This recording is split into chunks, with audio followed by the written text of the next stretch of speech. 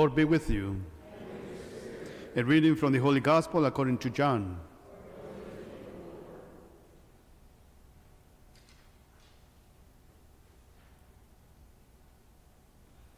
Standing by, by the cross of Jesus were his mother and his mother's sister, Mary, the wife of Cleopas, and Mary Magdalene. When Jesus saw his mother and the disciple there whom he loved, he said to his mother, Woman, behold your son. Then he said to the disciple, Behold your mother. And from that hour, the disciple took her into his home.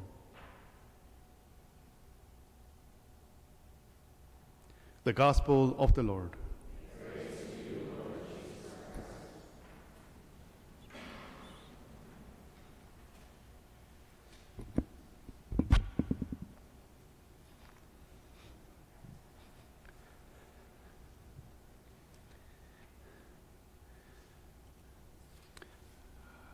Prepare for this Mass, uh, I was watching some videos today in YouTube uh, on the life of Jesus, especially uh, on the cross. And calls my attention the, the movie, probably you saw it. It was a 1977 movie or series about Jesus. It's called Jesus of Nazareth, written from, uh, by Franco Zeffirelli. You know, and, uh, and, and, and they focus a lot on Mary. You know, uh, Mary was arriving when Jesus was crucified, was arriving with the women, and, uh, and one of the soldiers stopped her and said, Who are you? Stop right here. He says, I'm, I'm, I'm his mother. And then the, the other soldier came and said, Let her, let her go. I mean, it, she is her mother, his mother. So she went, and, and Mary Magdalene were coming after her too. And the soldier stopped her and, say, and, and said, Who are you? He says, I'm, I'm a member of the family too. And then the soldier asked Mary, Is she the member of the family? And she says, Yes, she is a member of the family. And then the soldier let her go close to Jesus. And I, li- I like this because we see Mary, Mary coming to Jesus at the very end of his life. Of course, uh, as his mother, he was at the beginning of his life, but we see Mary all the time until the end of Jesus. In a very special way, at the foot of the cross. At the foot of the cross. And what is the purpose of Mary being there at the foot of the cross? You know, I mean, just imagine you who are mothers and everybody else, just look, lo- looking at your son in this situation. Looking at your son. What would be the natural feelings of Mary at that moment? A lot of pain, of course. A lot of pain but also probably cursing those who crucify Jesus because you know that your son is innocent and he's right there on the cross dying in the most terrible death that can happen at, at that time.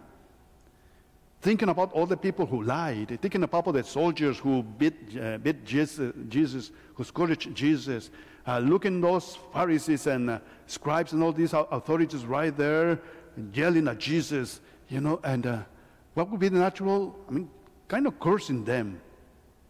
What is the attitude of Mary? And this is what we'll need to learn from her. You know, beautiful things. What is the attitude of Mary? In the readings today and, and, and the opening prayer, it says Jesus, uh, Mary was sharing Jesus' suffering. Not only human suffering, not only human, human uh, uh, pain. Of course, that one too. That one too. But uh, she was one with Jesus at that moment. And, and, I, and I can imagine, I can imagine the Virgin Mary seeing Jesus right there, suffering, bloody, uh, dying, and say, He is my son, faithful until the end. Mary had, had a special insight of the life of Jesus because she knew who, who he was. And she knew that Jesus would suffer because she, she heard a lot of times in the synagogue that the suffering servant will die in this way. And she knew that. But she was looking at Jesus as, my son is faithful to his father, obedient until the end. That's what the first uh, reading we heard, a letter to the Hebrews. You know, Jesus learned obedience. It doesn't mean that she was disobedient before that. No, it is because at that moment we showed truly obedience or not. We, we truly faithfulness or not. And Jesus was showing at that very, the most painful, powerful moment of Jesus, showing faithfulness, obedience to his heavenly Father. Why? What was the obedience or, or, or obedient to what? Yes, to die by dying itself? No. Saving us. It's like a father said to Jesus, Save my people. Nobody else can save them, but only you, my son. And Jesus says, I will do that, my father, because I love you. And because I love, I love them too. And I will save them, even though I have to go all these very hard situations. And Mary is right there at the foot of the cross, sharing Jesus' suffering, Jesus' salvation. It's like uh, Mary teaching us how to embrace Jesus, how to embrace the death of Jesus, how to acquire or how to make ours the salvation of Christ. You know, it's a lot, of, a lot to meditate, and I invite you, you know, take a, take a moment today, silence moment, uh, and meditate on this, and, and try to understand the mind of Mary.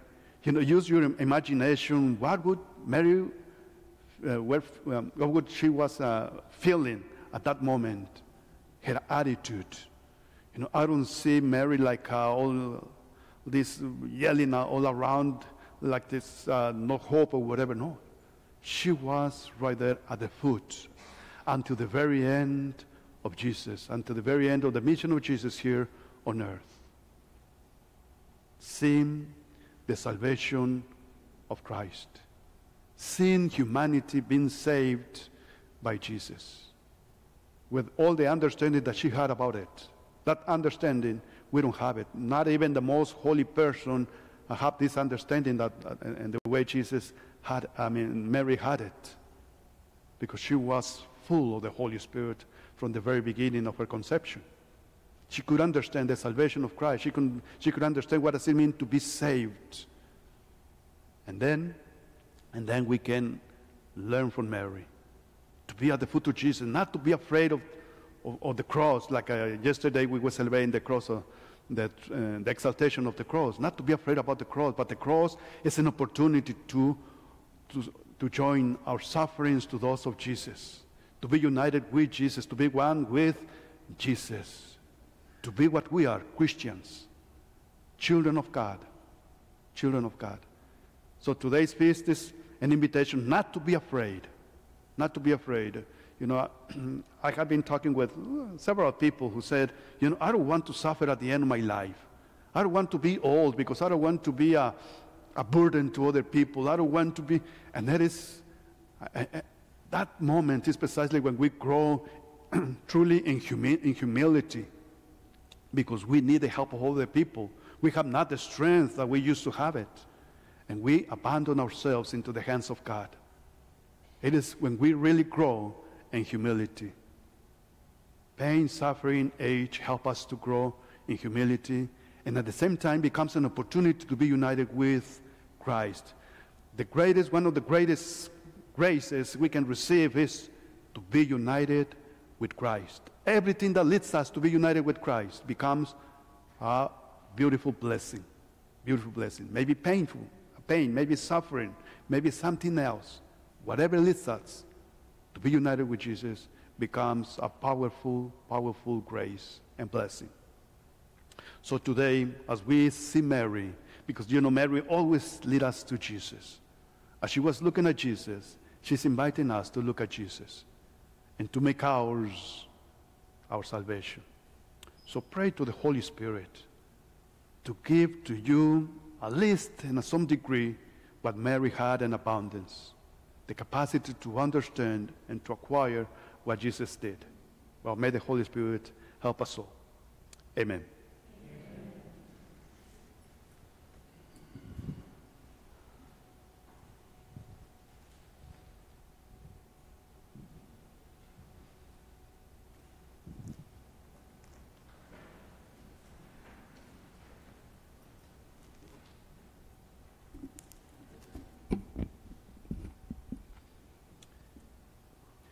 Knowing that the Lord's words lead to eternal life, we turn to our Father in prayer. For an increase in religious vocations, may the Lord bless those discerning priesthood or consecrated life with generous and open hearts. Let us pray to the Lord. Lord, hear our prayers.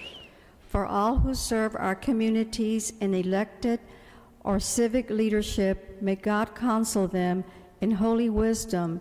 Let us pray to the Lord. Lord, hear our prayers.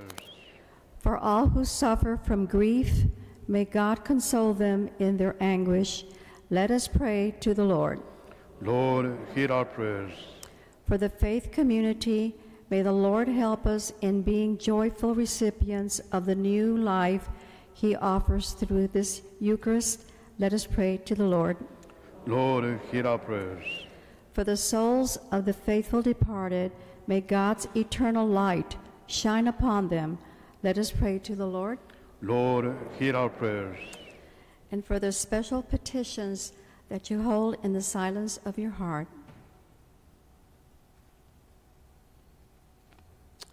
Let us pray to the Lord. Lord, hear our prayers. Today's Mass intentions are for the repose of the souls Ramiro Areriga and Chris Hunter.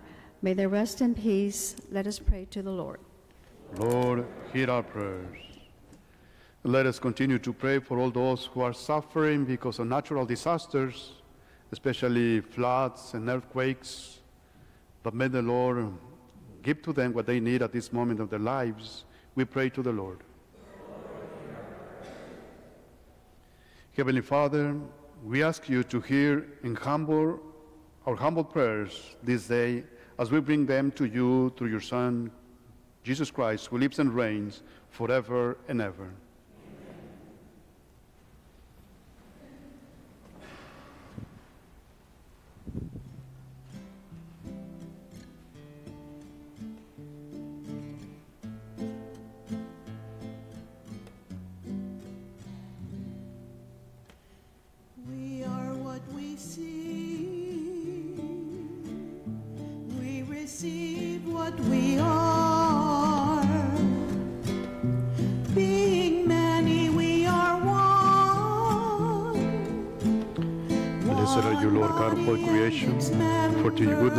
We the bread we offer you. Fruit of the earth and work of human hands, you will become for us the bread of life. As members of the church, we recall the sacrifice that was shared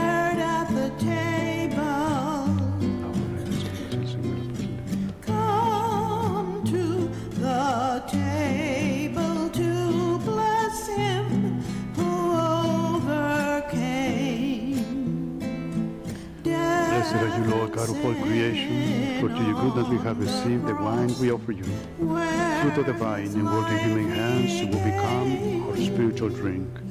We are what we see. We receive what we corazón contrito y nuestro espíritu are. que este sea nuestro sacrificio y agradable en tu presencia,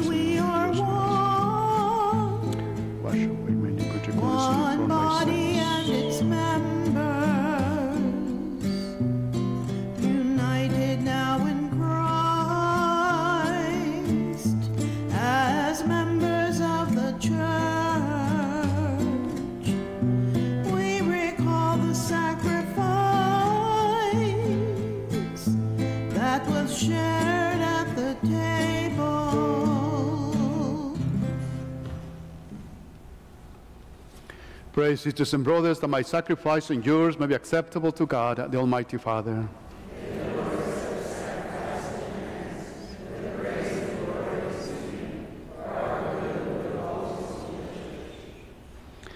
Receive, O merciful God, the praise of your name, the prayers to the pra- praise of your name, the prayers and sacrificial offerings which we bring to you, as we venerate the Blessed Virgin Mary, whom you graciously gave to us as a most devoted mother when she stood by the cross of Jesus, who lives and reigns forever and ever.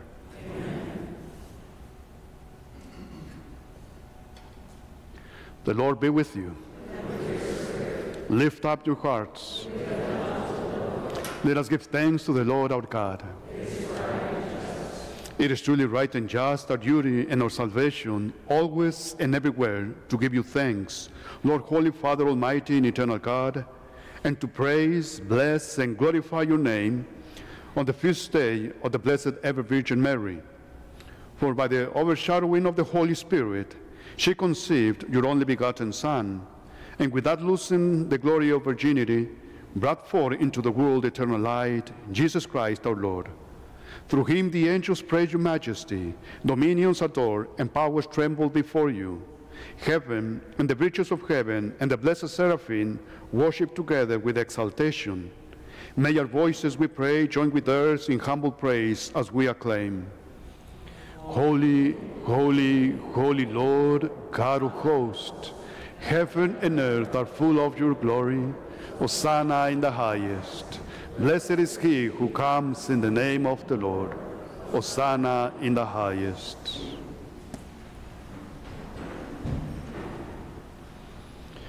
You are indeed holy, O Lord, the fount of all holiness. Make holy, therefore, these gifts, we pray, by sending down your Spirit upon them like the dewfall, so that they may become for us the body and blood of our Lord Jesus Christ.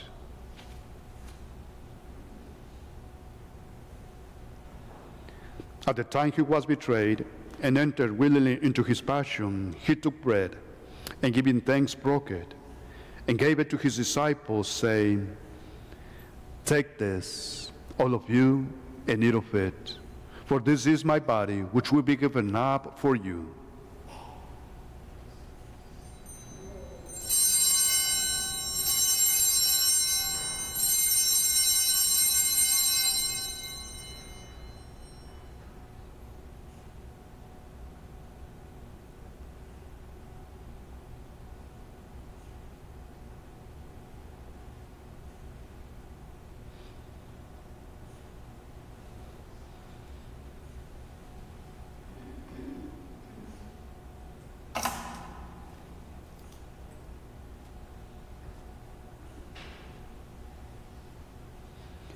In a similar way, when supper was ended, he took the chalice, and once more giving thanks, he gave it to his disciples, saying, Take this, all of you, and drink from it.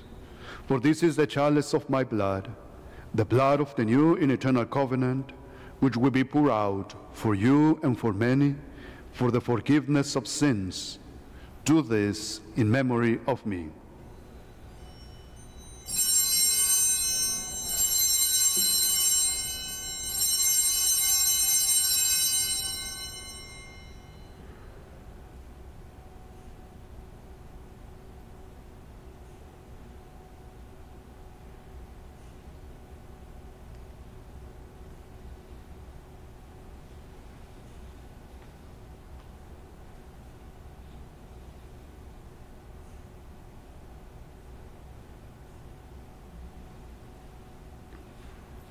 The mystery of faith. We proclaim to test the Lord and profess your resurrection until you come again. Therefore, as we celebrate the memorial of his death and resurrection, we offer you, Lord, the bread of life and the chalice of salvation, giving thanks that you have held us worthy to be in your presence and minister to you. Humbly we pray that partaking of the body and blood of Christ, we may be gathered into one by the Holy Spirit. Remember, Lord, your church spread throughout the world, and bring her to the fullness of charity together with Francis our Pope and Gustavo our Bishop, his auxiliary bishops, and all the clergy. Remember also our brothers and sisters who had fallen asleep in the hope of the resurrection, and all who have died in your mercy. Welcome them into the light of your face. Have mercy on us all, we pray, that with the Blessed Virgin Mary, Mother of God, with Blessed Joseph, her spouse, with the blessed apostles, and with all the saints who, who have pleased you throughout the ages, we may merit to be co-heirs to eternal life, and may praise and glorify you through your Son, Jesus Christ.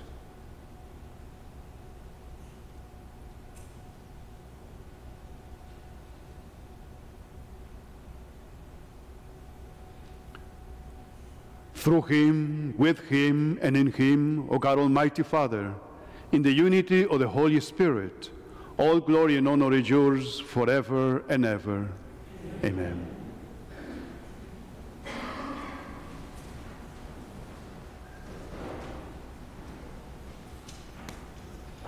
At the Savior's command, informed by divine teaching, we dare to say, Our Father, who art in heaven, hallowed be thy name. Thy kingdom come, thy will be done, on earth as it is in heaven. Give us this day our daily bread, and forgive us our trespasses, as we forgive those who trespass against us. And lead us not into temptation, but deliver us from evil. Deliver us, Lord, we pray, from every evil. Graciously grant peace in our days, that by the help of your mercy we may be always free from sin and safe from all distress, as we await the blessed hope and the coming of our Savior, Jesus Christ.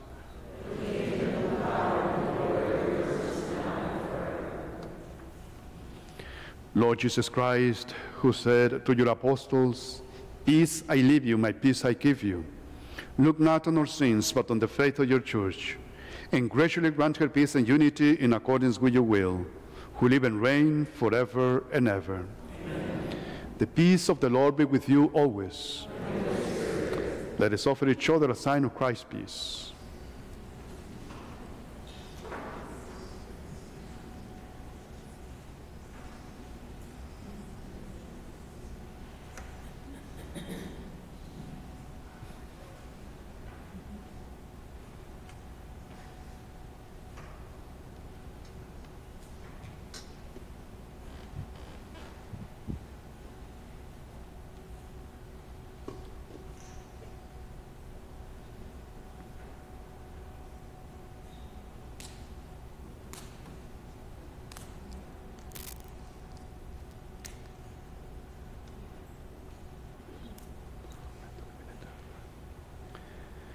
Agnus Dei, qui tollis peccata mundi, miserere nobis. Agnus Dei, qui tollis peccata mundi, miserere nobis. Agnus Dei, peccata mundi, dona nobis pacem.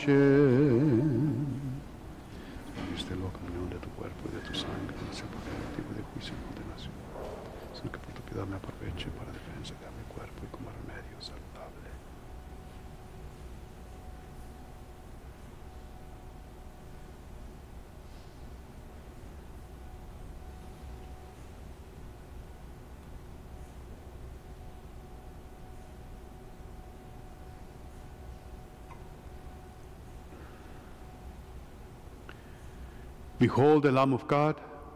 Behold him who takes away the sins of the world. Blessed are those called to the supper of the Lamb.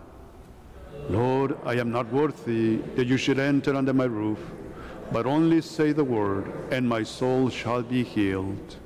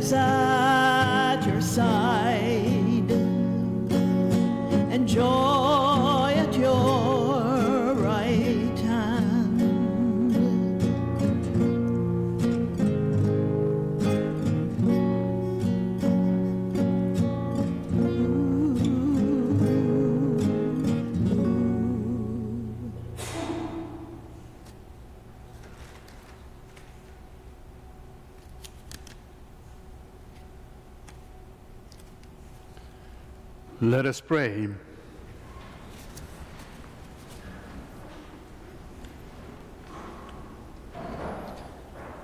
Having received the sacrament of eternal redemption, we humbly ask, O Lord, that honoring how the Blessed Virgin Mary suffered with her Son, we may complete in ourselves, for the Church's sake, what is lacking in the suffering of Christ, who lives and reigns forever and ever.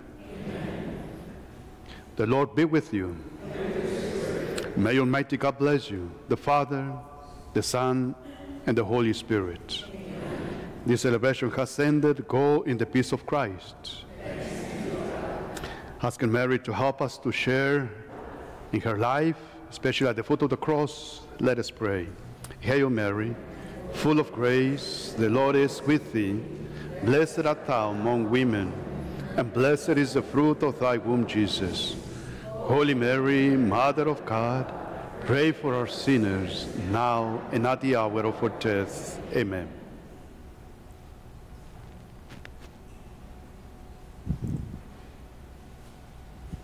The final hymn can be found in the Blue Gather Book, number 893. Mary first among believers, and we will sing verse 5.